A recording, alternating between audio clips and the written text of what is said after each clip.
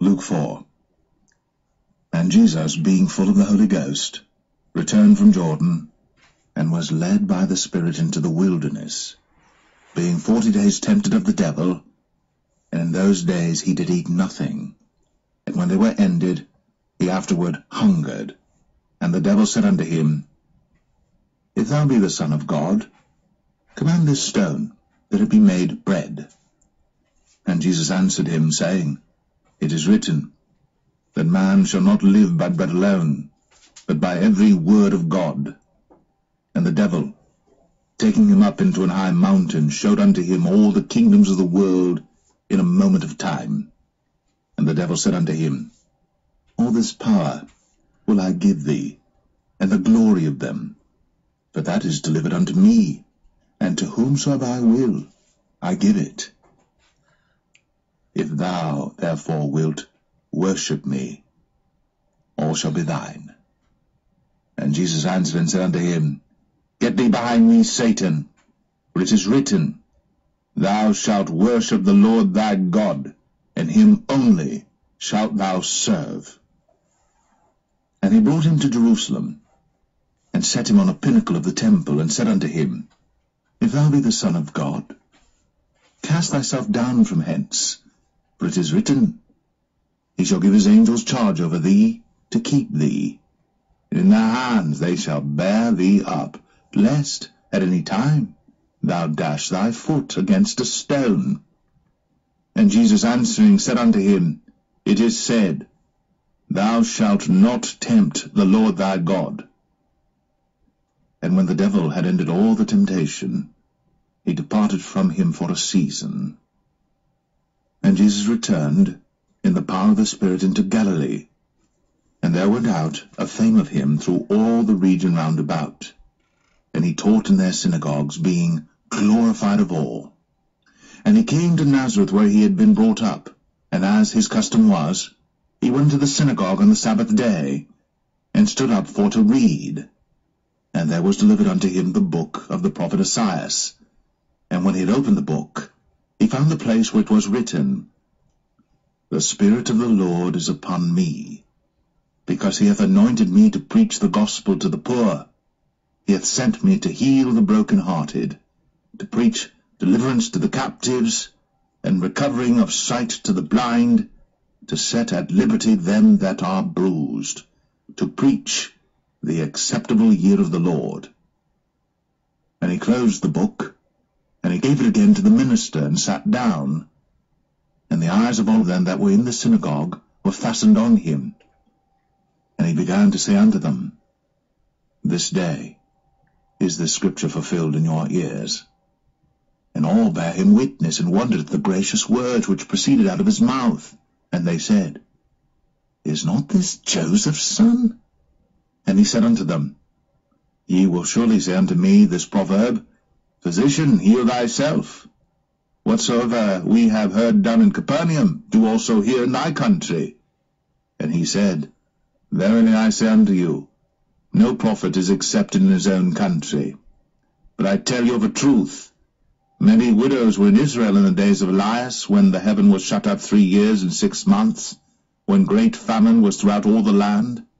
But unto none of them was Elias sent, save unto Sarepta, city of Sidon, unto a woman that was a widow.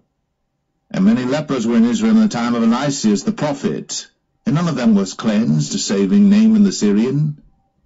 And all they in the synagogue, when they heard these things, were filled with wrath, and rose up, and thrust him out of the city, and led him unto the brow of the hill whereon their city was built, that they might cast him down headlong.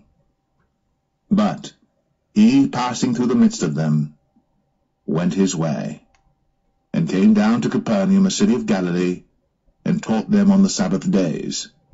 And they were astonished at his doctrine, for his word was with power. And in the synagogue there was a man which had a spirit of an unclean devil, and cried out with a loud voice, saying, Let us alone, what have we to do with thee, thou Jesus of Nazareth? Art thou come to destroy us? I know thee who thou art, the Holy One of God. And Jesus rebuked him, saying, Hold thy peace, and come out of him. And when the devil had thrown him in the midst, he came out of him, and hurt him not. And they were all amazed, and spake among themselves, saying, What a word is this?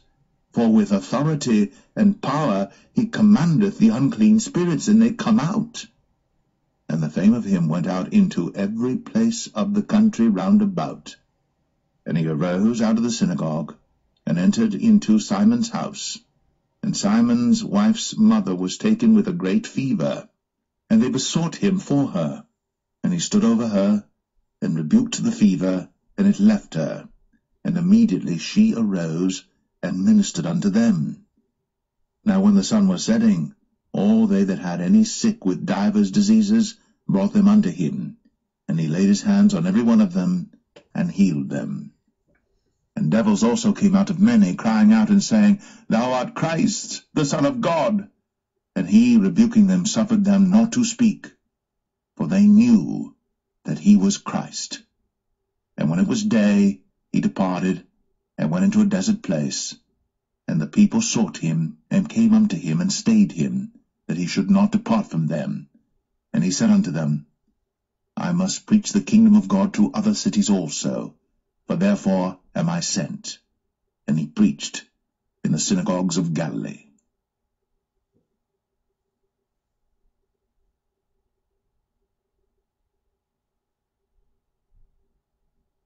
Luke 5 And it came to pass, that as the people pressed upon him to hear the word of God, he stood by the lake of Gennesaret, and saw two ships standing by the lake, but the fishermen were gone out of them, and were washing their nets.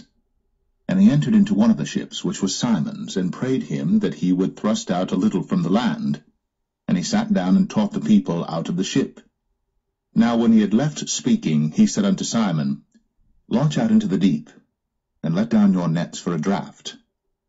And Simon answering said unto him, Master, we have toiled all the night, and have taken nothing.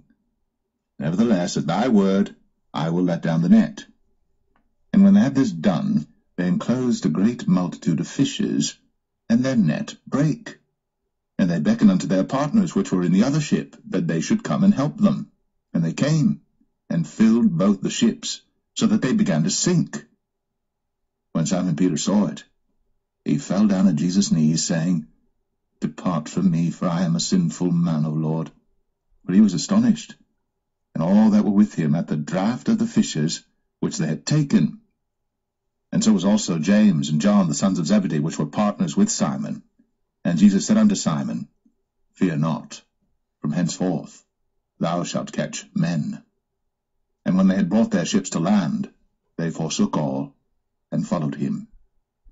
And it came to pass, when he was in a certain city, behold, a man full of leprosy, who seeing Jesus fell on his face and besought him, saying, Lord, if thou wilt, thou canst make me clean.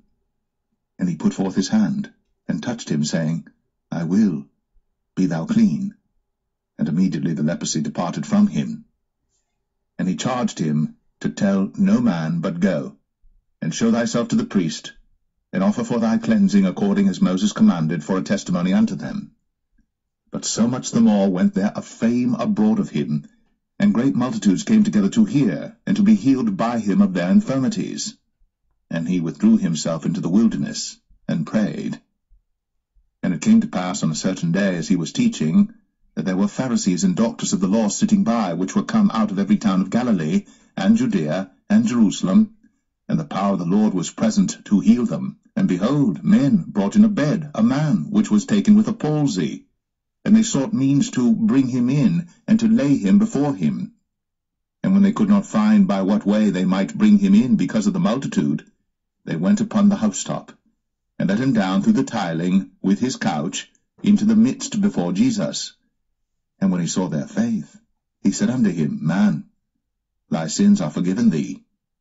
And the scribes and the Pharisees began to reason, saying, who is this which speaketh blasphemies? Who can forgive sins but God alone? But when Jesus perceived their thoughts, he answering said unto them, What reason ye in your hearts? Whether is easier to say, Thy sins be forgiven thee, or to say, Rise up and walk? But that ye may know that the Son of Man hath power upon earth to forgive sins, he said unto the sick of the palsy, I say unto thee, Arise, and take up thy couch, and go into thine house. And immediately he rose up before them, and took up that whereon he lay, and departed to his own house, glorifying God. And they were all amazed, and they glorified God, and were filled with fear, saying, We have seen strange things today. And after these things he went forth, and saw a publican named Levi sitting at the receipt of custom. And he said unto him, Follow me. And he left all, rose up, and followed him. And Levi made him a great feast in his own house. And there was a great company of publicans, and of others that sat down with them. But their scribes and Pharisees murmured against his disciples, saying, Why do ye eat and drink with publicans and sinners? And Jesus answering said unto them, They that are whole need not a physician, but they that are sick. I came not to call the righteous, but sinners to repentance. And they said unto him, Why do the disciples of John fast often, and make prayers, and likewise the disciples of the Pharisees, but thine eat and drink? And he said unto them, Can ye make the children of the bride chamber fast, while the bridegroom is with them? But the days will come, when the bridegroom shall be taken away from them, and then shall they fast in those days. And he spake also a parable unto them. No man putteth a piece of a new garment upon an old.